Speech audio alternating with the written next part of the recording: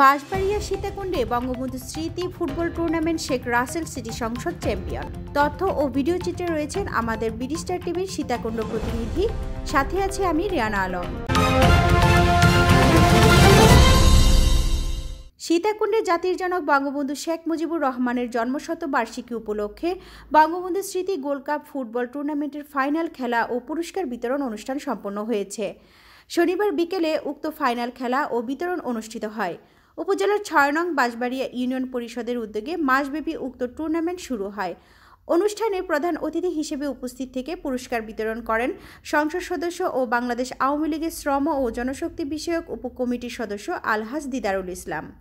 Banshbaria union পরিষদের chairman Mohammad Shawkat Ali জাহাঙ্গীরের সভাপতিত্বে অনুষ্ঠিত অনুষ্ঠানে বিশেষ অতিথি হিসেবে উপস্থিত ছিলেন Midland bank limited vice chairman master Abul Kashem Bhatiari union পরিষদের চেয়ারম্যান আলহাজ নাজিম উদ্দিন বাঁশবাড়িয়া ইউনিয়ন আওয়ামী লীগের সাধারণ সম্পাদক মোহাম্মদ শাহজাহান, বাড়িয়াঢালা ইউনিয়ন আওয়ামী লীগের সভাপতি সিরাজুল ইসলাম, সৈয়দপুর ইউনিয়ন আওয়ামী লীগের সাধারণ সম্পাদক নিজাম উদ্দিন উপজেলা আওয়ামী লীগ নেতা রুহুল আমিন, আরশেদ মাহমুদ, সোহাগ, বাঁশবাড়িয়া আওয়ামী লীগ নেতা কামরুল পেয়ারু, নবী জিকু মামুন, যুবলীগ নেতা টিটু, আমজাদ এমদাদ, লিটন ছাত্রলীগ নেতা কামরুল, আদিল রানা, সাকিব নাজমুল রিয়াদ, ফাহিম শাখওয়াত, রায়হান প্রমুখ।